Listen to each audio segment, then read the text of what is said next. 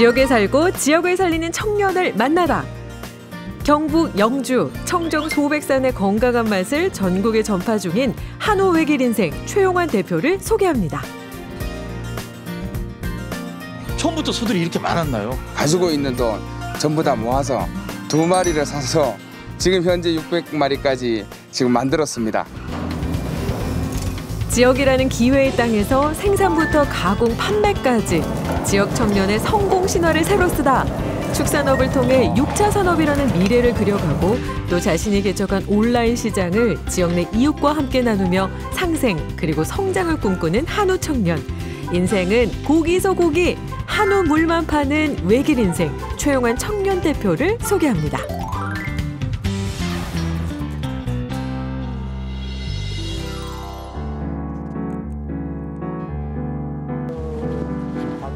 외길 인생 오늘의 주인공을 찾아 기정 리포터가 도착한 곳은 경북 영주 소백산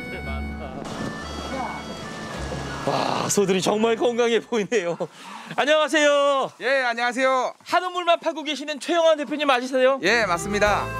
저는 영주에서 한우를 키우고 판매하고 있는 영주 청년 대표 최영환입니다.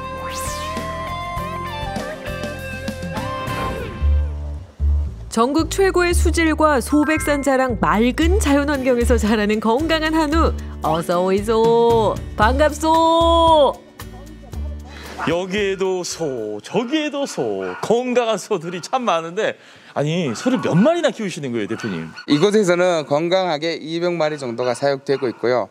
다른 두 곳 농장에 각 200마리씩 총 600마리가 사육되고 있습니다.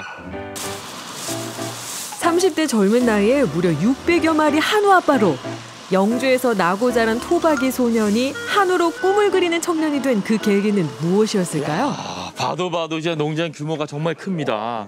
아니 처음부터 소들이 이렇게 많았나요? 아니 그리고 또 영주에서 시작하신 이유는 또 뭔가요? 아버지께서 편찮으셔서 이제 어머니 혼자 일하시는 보, 일하시는 모습을 보고 이제 촌에 이제 농촌에 어떤 일이 있을까 알아보다가 이제 한우가 제일 이제 괜찮은 것 같아서 저희가 가지고 있는 돈 전부 다 모아서 두 마리를 사서 지금 현재 600마리까지 지금 만들었습니다. 물 맑고 공기 좋은 영주에 태어나 쭉 영주를 지키며 질 좋은 영주 한우로 전국의 영주의 명성을 높이는 최용환 대표. 이곳 영주에서 한우물만 쭉 팔고 계신 우리 청년 대표님. 그런데 소를 키우기만 하는 게 아니라고요. 네, 전문 감각으로 이제 온라인 판매라든지 안 그러면 뭐 라이브 판매라든지 경쟁력을 갖추기 위해서 저희가 직영으로 가공 판매까지 모든 전반적인 거를 직영으로 다 하고 있습니다. 영주 한우를 육성 가공하는 것을 넘어 자신이 개척한 판로를 이웃들과 나누기까지 축산업 6차 산업을 향해 나아가고 있습니다. 직접 소를 또 사육도 하고 유통, 판매, 아 여기 다 하시려면 가장 중점적으로 신경 쓰는 부분이 있을 것 같아요. 저는 가장 중요하게 생각하는 부분은 믿음과 신뢰라고 생각합니다. 아, 그래서 저희는 SNS를 통해서 어, 모든 생산 과정, 이제 유통, 뭐 포장 이런 거를 어, 모두 공, 모두에게 공유하고 있습니다. 바뀌어가는 축산업 지형에 발맞춰 밝은 미래를 그려가는 청년 대표지만 그 시작엔 숱한 넘어짐과 어려움도 있었겠죠. 사실 이렇게 딱 봐도 소들이 많잖아요. 소들이 많으면 매출도 많겠다라고 생각하지만 또 그만큼 운영하시는데 힘든 분도 참 많을 것 같아요. 이제 가족처럼 계속 키워야 되는 입장이잖아요. 그러다 보니까 아무래도 시간적으로 어디 가지를 못하고 이제 좀 매여 있다는 그런 게 있는데 이제는 이제 자동화 시설이 많이 돼 있어서 요즘에는 뭐 그렇게 이제 시간적인 제약을 많이 받고 있지는 않습니다. 그래서 저는 늘 즐겁게 어, 소를 키우면서 이제 생활하고 있습니다. 청년 대표의 성공 포인트. 농장에서 기른 한우를 직접 가공하는 건 기본이죠. 변화하는 시장의 흐름을 살피고 판매까지 모두 도맡아 한다는 말씀. 좋은 고기를 영주 한우를 와서 먹을 수도 있지만 온라인으로 또 판매를 하시잖아요. 야 실제적으로 어느 정도 이렇게 주문량이 있나요? 축산업 하시는 분들이 대부분 어르신들이 많으셔서 이제 그래도 젊은 제가 나서서 영주 한우를 알리고자 시작했습니다. 아, 그렇게 어, 시작하게 된 게 온라인 스토어 한우 검색으로 1위까지 했을 정도로 소비자들에게 사랑받고 있습니다. 전국 팔도에서 쇄도하는 러브콜의 영주산 한우 본격 출동 준비 완료. 하루 매출만 무려 억대를 기록한 슈퍼스타 중의 슈퍼스타. 지역에 살면서 또 지역을 또 살리는 일을 계속 하고 계시잖아요. 아, 실제적으로 이 지역, 이 농촌에 살면서 가장 장점은 뭔가요? 우선 저는 태생이 시골 사람이다 보니까 좋은 점이 더 많다고 생각드는데요. 어, 농산물, 축산물 등 모든 것이 생산물이기 때문에 본인만 열심히 한다면 수익으로 얼마든지 이어질 수 있는 것이 너무 많다고 생각합니다. 최용환 대표의 걸작 블링블링 마블링 자랑하는 영주 한우 실물 영접 가히 자부심이 있을만 합니다. 야 우리 청년 우리 대표님께서 키운 영주 한우 크, 진짜 빛깔 좋네요. 부위도 다 다른 것 같아요. 소개 좀 해주세요. 어, 이건 등심이고요. 마블링이 많아 육질이 연하고 풍미가 좋습니다. 안심입니다. 지방이 가장 적은 부위로 부드러운 식감으로 좋습니다. 어, 갈비살은 쫄깃한 식감으로 가장 인기가 많은 부위입니다. 치맛살은 고급 부위로 부드러운 식감으로 많은 사랑을 받고 있습니다. 우리 한우문화 파시는 우리 최용한 우리 청년 대표님께서 직접 키운 한우의 맛, 영주 한우의 맛은 어떨까요? 대표님, 네. 인생이 다 고기서 고기입니다. 불판 위로 고기 좀 올려주시죠. 알겠습니다. 풍미 가득 등심, 부드러운 안심, 쫄깃한 갈비살과 고급 부위로 일컬어지는 치맛살. 소비자에게 맛있는 고기를 제공하기 위한 첫 번째 관문은 고기를 잘 알고 있어야 한다는 것. 음, 고기를 먹었는데요. 입안에서 그냥 고기가 살살 녹는다는 표현이 진짜 딱 맞을 것 같습니다. 와, 아니, 소고기는 비싸다라는 생각이 다들 머릿속에 있잖아요. 근데 어떻게 이런 한우를 이 가격에 맛볼 수 있는 건가요? 헬스 민정부지만 이제 마케팅 등이나 이제 부대 비용이나 이런 거를 이제 절약하기 때문에 고객님들에게 좀 더 저렴한 가격으로 한우를 맛볼 수 있게 할 수 있습니다.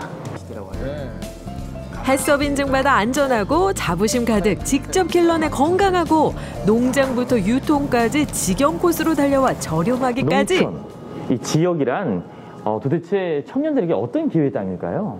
지역 청년들이 이런 곳에 관심을 가져 어, 어른들이 하지 못했던 SNS 홍보나 온라인 판매로 좋은 물건을 소비자에게 직접 판매와 생산에 관심을 많이 가지게 된다면 농촌은 더 나은 기회의 땅이라고 생각합니다.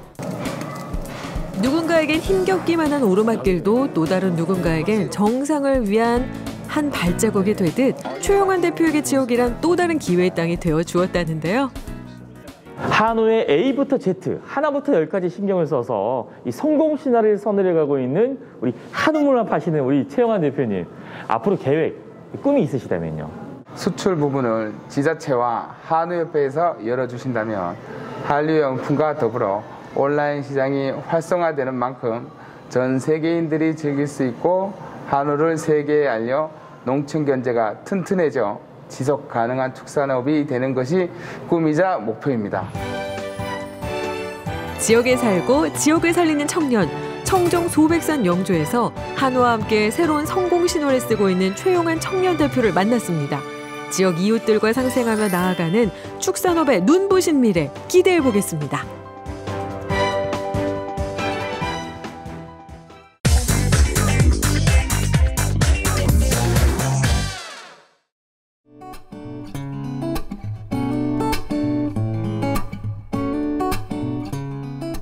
제가 이 이곳에서 작은 가게를 운영하며 다양한 프로젝트를 할 수 있는 건 지역에서 만난 좋은 사람들. 그 사람들 덕분에 사실은 하고 있고 그 사람들하고 같이 오래도록 일하고 싶은 마음에 네, 저질렀지요.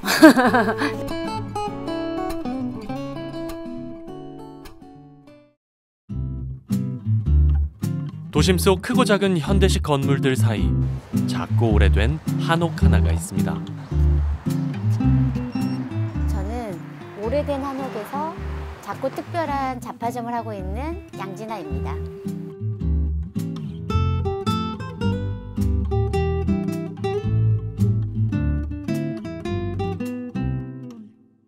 순천에 와서 너무 매력적인 공간이 생기면서 그냥 이렇게 툭 던진 말을 시도할 수도 있고 되게 상상할 수 있는 게 많은 것 같았어요. 그래서 아, 이 한옥을 잘 이용하면 뭔가 사람들하고 되게 좋은 공간을 만들 수 있지 않을까?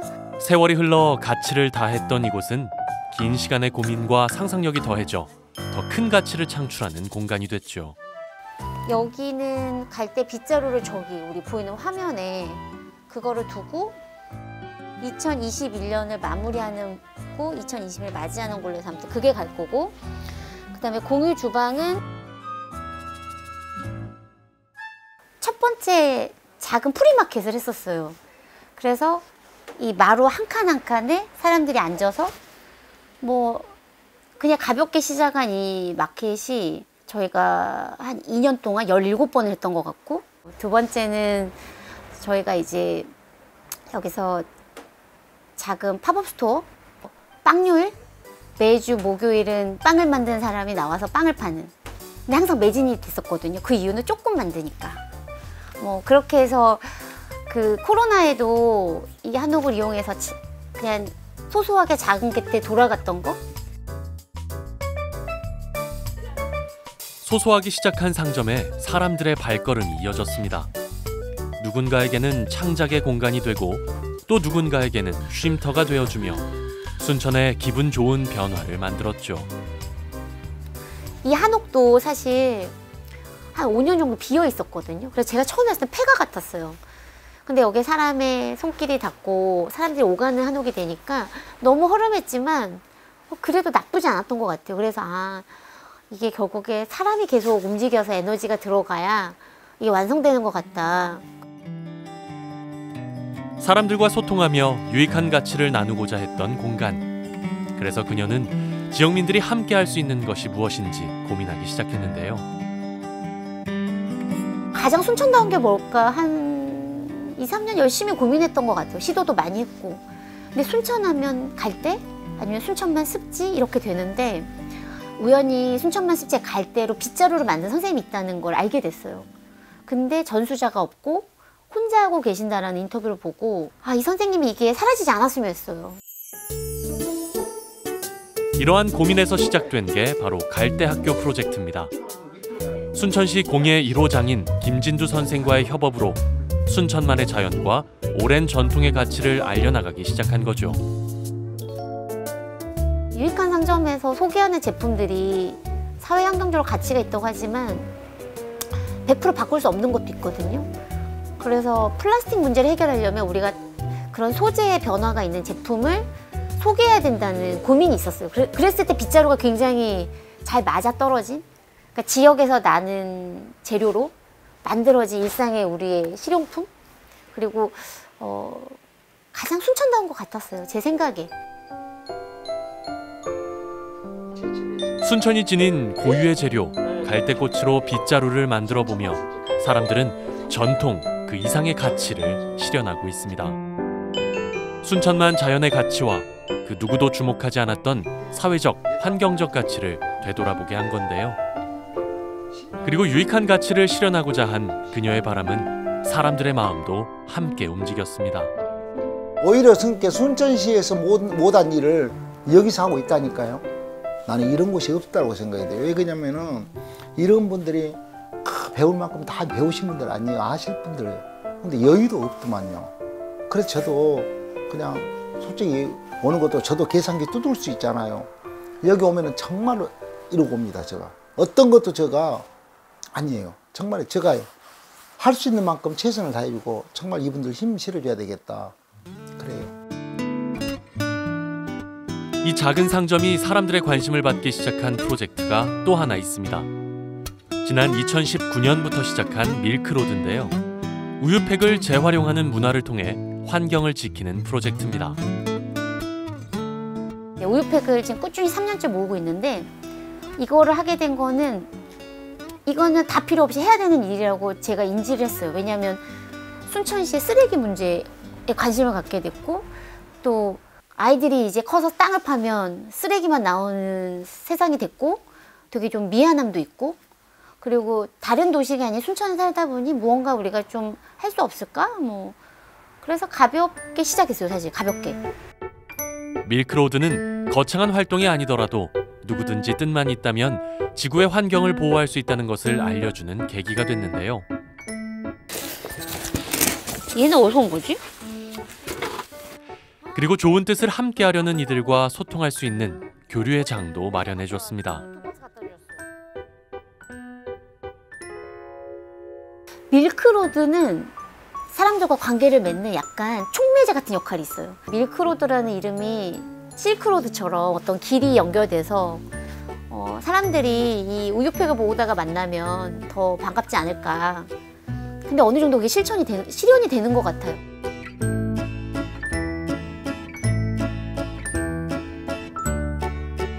작게 시작한 일이 점점 사람들의 관심과 참여를 만들고 지역 곳곳에 유익한 가치의 길을 만들어내고 있습니다.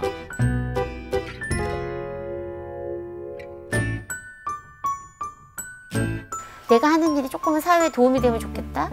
나의 행동이 좀 좋은 임팩트가 갔으면 좋겠다라는 걸 항상 전제는 깔고 있어요. 그래서 어, 유익한 상점이란 이름이 주는 사실 부담도 나날이 커지곤 있는데 어, 이름처럼 책임져야죠 뭐.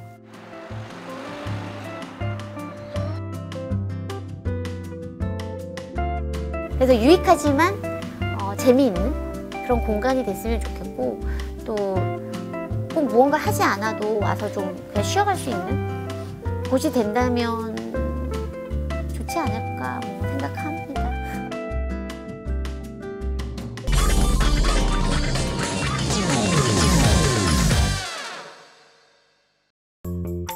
누군가의 여행지가 되고 누군가의 휴식처가 되며 누군가에게는 바쁜 일상의 배경이 되는 곳 우리가 살고 있는 도시입니다.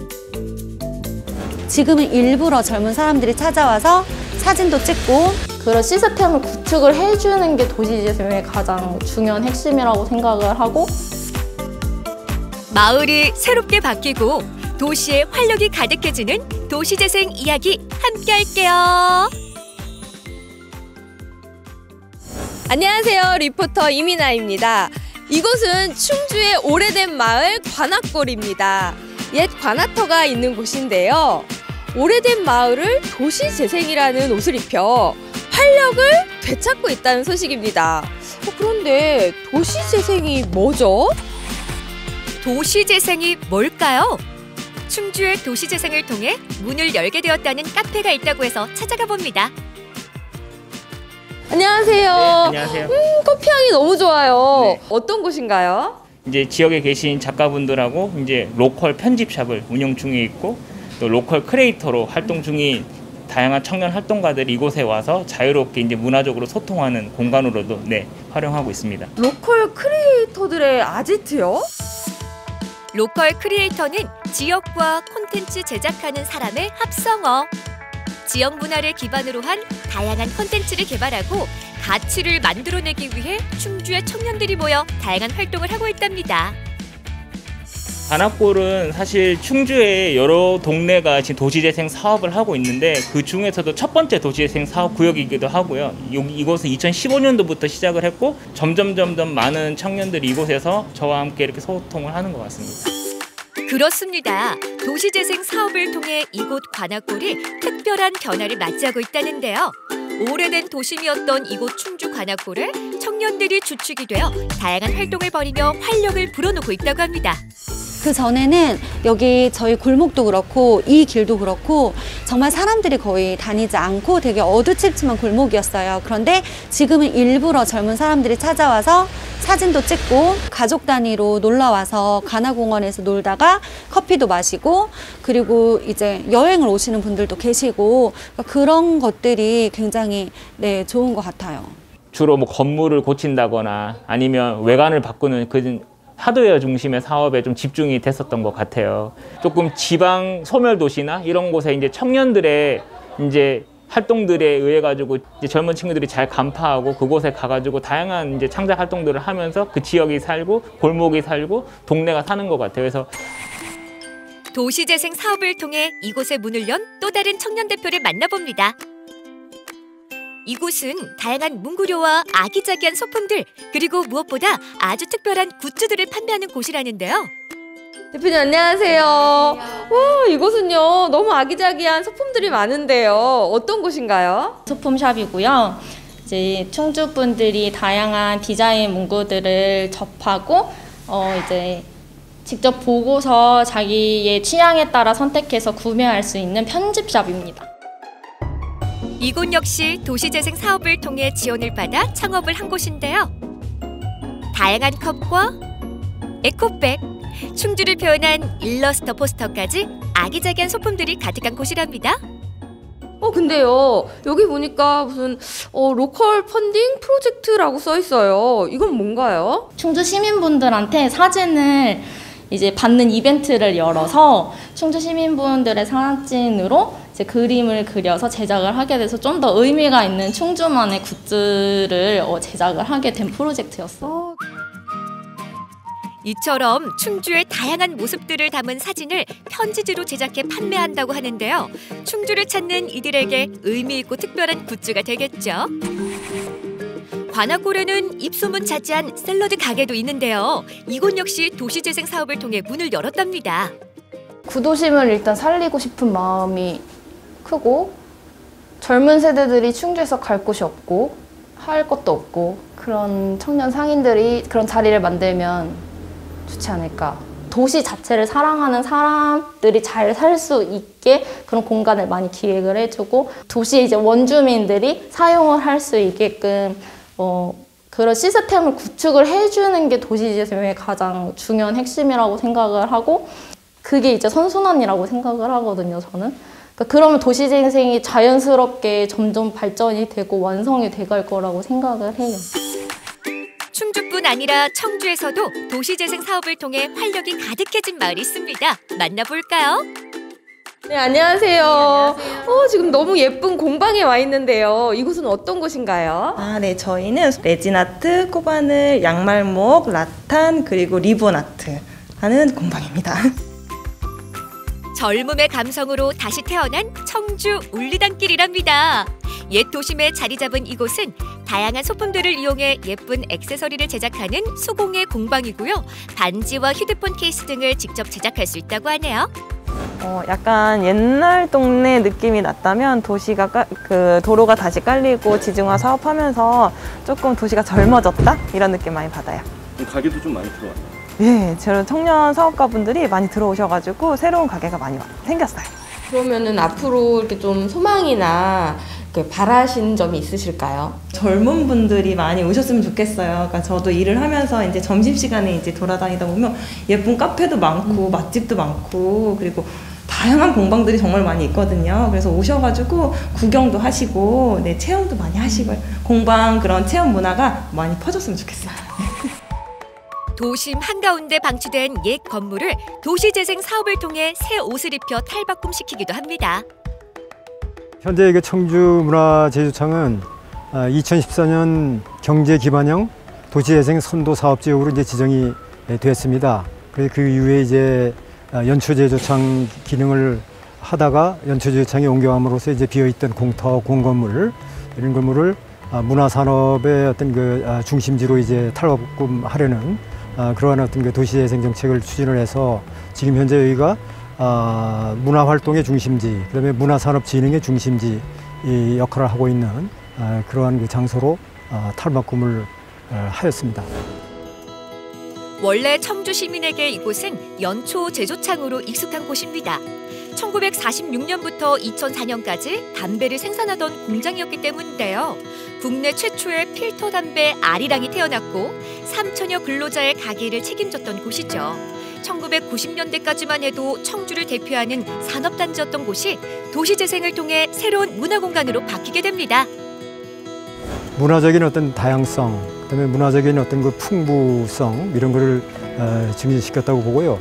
그다음에 이제 문화도 이제 일종의 하나의 그 산업으로서 중요한 역할을 하기 때문에 문화 산업 자체를 갖다가 증진시키는 뭐 그러한 어떤 그 역할을 하는 그런 장소가 어, 되고 있다 이렇게 예, 말씀드릴 수 있겠습니다. 그렇습니다. 도심 한가운데 방치된 자원을 도시재생 사업을 통해 공연장과 미디어 센터, ICT 체험관 등을 만들고 명실상부 문화랜드 마크로 탈바꿈시켰답니다. 말 그대로 도시 재생 사업을 통해서 새 옷을 입힌 거네요. 우리가 사는 마을에 활력을 불어넣습니다. 도시 재생! 우! 청년들이 주체가 되어 마을에 활력을 불어넣습니다. 오래된 마을과 도시가 새 옷을 입고 활기 가득한 곳이 됩니다. 버려지고 방치된 곳은 새로운 문화 공간으로 탄생하기도 하는데요. 도시 재생이라는 옷을 입은 덕분이라네요.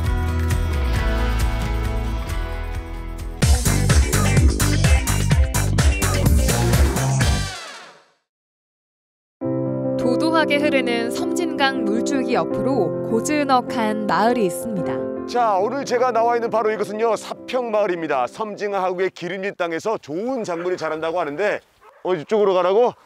걔들이 알려주네 이쪽으로 가면 체험이 있대 알았어 삼촌 간다 가가 그래 이쪽이구나 가자 가자 아이. 땅의 가치를 소중히 여기며 살아온 농부들의 마을이자 문화가 살아 숨쉬고 예술 체험이 다채롭게 펼쳐지는 마을. 섬진강 끝자락에 안긴 아름답고 조화로운 공간으로 알찬 겨울 여행 떠나볼까요? 겨울날 사평마을에선 하우스 농사가 한창입니다. 어 여기 하우스인가 보다 오오오 오, 추워라 오 역시. 야 하우스가 따뜻하네. 이 마을이 애호박이 유명하다고 하더니 와. 따뜻한 온기를 머금은 하우스 안에서 주렁주렁 탐스럽게 열린 애호박들이 반겨집니다. 사평마을은 강하구의 기름진 토양과 풍부한 일조량 덕분에 다양한 작물을 키워내기에 최적의 마을인데요. 겨울에는 하우스를 활용한 애호박, 양상추 농사가 한창입니다. 농작물은 농부의 발자국 소리를 듣고 자란다고 하죠. 농부님들이 정성을 다해 가꾸는 만큼 튼실한 열매로 보답해 줍니다. 기계로 할 수 없는 그 작물이에요. 아, 직접 걸어 다니면서 예. 수확도 해야 되고 중간에 꽃도 따야 되고 하는 예, 것들이 치즈 유인도 해야 되고 예. 이렇게 예, 유인도 이렇게 전부 다 이렇게 이렇게 올라가면 이렇게 전부 다, 나- 다 손으로 직접 해야 예. 되는 부분이어가지고 아 손이 많이 가는 작물이네. 예. 그럼에도 불구하고 애호박을 하는 이유가 있다면 아 뭐랄까요 저의 구세주랄까? 아 이 구세주 구세주였습니다. 예. 아 구세주 예. 아, 힘든 시기에 애호박을 만나셨구나. 저희 지역에서 예. 애호박을 개발해가지고 이 동부 육군에 보급을 다 시켰어요. 섬진강의 끝자락 사평마을엔 폐교를 활용한 체험 공간이 자리하고 있는데요. 마을 주민들이 함께 운영하는 섬진강 끝들 마을에 지난 가을 새로운 문화예술의 향기가 더해졌습니다. 건강관리실로 활용이 되고 있던 공간이었어요. 네. 탁구대가 있었고 어. 런닝머신이 있었고. 아 이곳은 원래 네. 그런데 지금 그런 느낌이 나시잖아요. 그렇죠. 전혀 새로운 공간으로 바뀌었습니다. 그래서 네. 한국예술문화위원회 그 도움으로 네네. 어, 시- 우리 광양시하고 함께 이렇게 작은 미술관으로 한번 조성을 해봤어요. 마을 주민들 입장에서 상당히 좀 좋으실 것 같은데. 그렇죠. 네. 미술 작품들이나 아니면 저, 작가님들이 오시고 또 외부에서 새로운 분들이 오시니까 네. 마을 분들도 또 즐거워하시고요. 또 더 중요한 거는 네. 저희 옆 전시실에 마을 주민들의 추억의 사진을 작품으로 만들어서 전시를 해놓은 공간이 있거든요. 네. 그래서 더 관심 있게 잘 네, 보고 계십니다. 곱게 단장하고 찍은 단체 사진과 생애 가장 행복했을 결혼식의 풍경. 사진 한 장 한 장엔 행복했던 순간이 고스란히 담겨 있는데요. 마을 사람들의 시간과 추억이 깃든 사진들은 아련한 그때 그 시절로 우리를 이끌어줍니다. 미술관 개관 기념 전시는 광양과 순천 청년 작가들이 섬진강을 모티브로 작업한 섬진강을 그리다 전입니다. 섬진강 변의 풍경과 정서를 담아낸 작품들이 작은 미술관을 촘촘히 채우고 있는데요. 새롭게 조성된 문화 공간은 마을 사람들의 예술 감각을 일깨워주고 방문객들에게는 여유를 안겨주는 선물 같은 공간이 되겠죠. 미술관 보고 오니까 무언가 하나의 작품을 만들고 싶다는 생각이 뿜뿜 솟아오릅니다, 쌤. 이게 지금 쪽염색한 스카프인데요. 하실 수 있습니다. 야, 이거 할 수 있을까? 예, 네. 좀덜안될 것 같은데. 네, 손재주가 좋다는 소문이 여기까지 왜 그런 소문이. 났지? 제가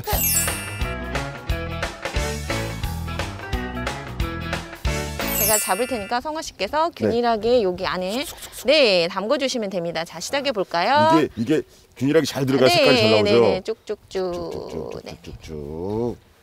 공기 중에 뜨지 않게 잘.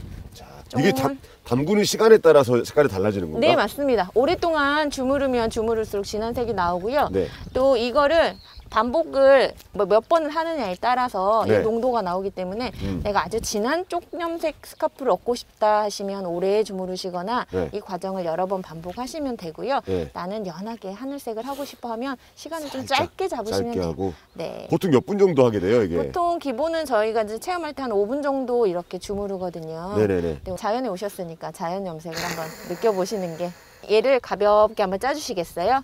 네, 너무 꼭 짜실 필요는 없고 가볍게, 네, 쭉 쪽물이. 흐르지 않게. 네. 제가 네. 여기 옮긴 이유는 네. 이쪽이 지금 보면 아직 얘하고 색깔이 다르죠? 네. 한번 펼쳐서 공기 중에 골고루 노출이 되게 한번 해보시겠어요? 펼쳐줘야 그러면 뭔가. 조금 바뀌는 게 보이실 거예요. 아 색감이 네. 그리고 이제 쪽염색은 여름철이 가장 최적기기는 해요. 네. 네, 왜냐면 이게 또 계절에 따라서 이 쪽빛 색감이 조금씩 달라지더라고요. 자연의 재료가 빚어낸 푸르디 푸른 쪽빛의 유혹 매력적으로 다가옵니다. 때 아닌 셀카놀이에 심취한 양성화 리포터. 마음에 드는 사진이 나왔나요? 근데 갑자기 웬 셀카예요?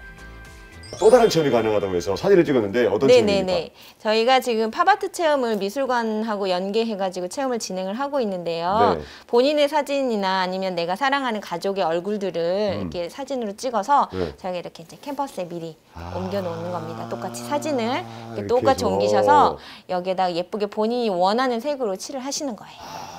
전현 선생님 사실 어, 그림을 그리는 것보다 색깔 칠하는 것보다 지금 이렇게 밑그림 그리는 것만으로도 충분히 마음에 드는데 아, 아, 안 됩니다. 안 됩니다. 네. 체험을 하고 가셔서 아, 예, 저희 돼. 미술관에 꼭 전시를 해주셔야 돼요. 아 오케이 좋습니다 네네네. 자 그럼 여기 이제 색깔 네. 음. 하나씩 하나씩 예쁘게 이거는 뭐 진짜 실제로 있는 색깔이 아니라 내 마음속에 상상의 색깔을 넣어도 네, 되는 상상의 거예요 색깔로 재밌게 보는 게 우리 또 팝아트의 묘미니까요. 오. 그래서 이제 어, 적당한 평붓을 하나 고르셔서 네네. 네, 아크릴 물감의 특징은 물을 너무 많이 묻히실 필요는 없고 살짝만 찍어서 네, 여기에서 이제 바탕색을 먼저 정해 주시는 겁니다.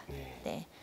이렇게 물감에 묻혀서 핑크색으로 네, 해가지고. 핑크색으로 바탕을 골고루 자신의 얼굴이나 사랑하는 사람의 얼굴을 그림으로 완성해보는 특별한 예술 체험 매력적인데요. 채도가 높은 선명한 컬러감이 돋보이는 팝아트 작품들은 작은 미술관 한 켠의 특별 전시로 만날 수 있습니다. 양성화 리포터의 손재주가 좋다는 소문의 진실 확인해 볼까요? 야무진 손끝으로 정성껏 캔버스를 채워 나가고 사인까지 새겨 넣으면 양성화표 팝아트 완성입니다. 됐어, 느낌 됐어. 있는데요. 됐어 됐어 근데 이렇게 해보니까 재미가 있는데 아이들은 본인의 얼굴이 담기는 거에 대해서 진짜 너무 행복해 할 것 같아요 네, 신기하기도 하고 네. 또 미술관에 작품으로 전시된다고 하니까 다들 네. 기대가 큰 것 같아요. 제 얼굴이 미술관에 전시된다고 생각하니 무언가 마음이 뿌듯하네요. 아, 야 여기서 보니까 이 마을의 전 모습이 다 보인다. 마을도 쫙 눈에 들어오고 옆으로는 섬진강이 흐르고 아 이게 자전거를 타면 힘들 거라 생각을 했는데 다 평지여가지고 그렇게 힘들지도 않습니다. 아, 뭔가 약간 산책 나온 느낌. 이런 여유가 필요하다고. 오늘 어 천연 염색으로 모플러도 만들고 제 얼굴 그림도 그리고 아 미술관도 관람하고 아 그리고 하우스 안에 들어가가지고 잘 자라고 있는 호박도 봤는데 이렇게 자전거에 타니까 완벽한 마무리. 섬진강 자전거길을 따라 바람을 가르며 풍경을 바라보면 평화로운 휴식이 찾아옵니다. 따사로운 섬진강 물줄기가 반겨주고 다채로운 즐길거리가 있는 매력적인 마을. 자연과 사람이 만나고 문화와 예술이 어우러지는 사평마을에서 인생의 특별한 순간을 만들어 보세요.